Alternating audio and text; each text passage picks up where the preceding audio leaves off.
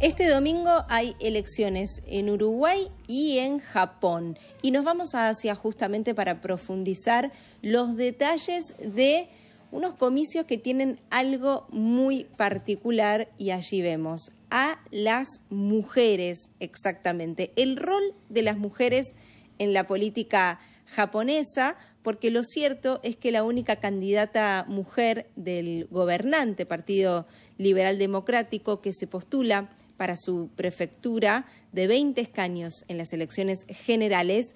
Ella es Karen Makishima, que representa la lucha, como la vemos ahí conectándose con la población, hablando por alta voz, a las mujeres en la política que está dominada por los hombres históricamente en Japón.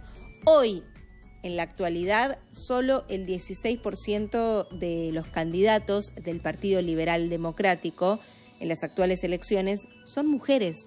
Y en comparación con el 2022, el opositor Partido Democrático Constitucional de Japón, CDPJ, según análisis eh, de agencias internacionales, nos han permitido saber que estos valores son los que se mantienen. Es decir, hay una desigualdad de género que puede no ser un tema prioritario en las elecciones del domingo, en las elecciones generales, pero el Partido Liberal Democrático, afectado por el escándalo y todo lo que vino pasando en estos últimos años, eh, también eh, enfrentará una elección a la Cámara Alta que necesita todos los votos, tanto hombres como mujeres y sus figuras, ¿no?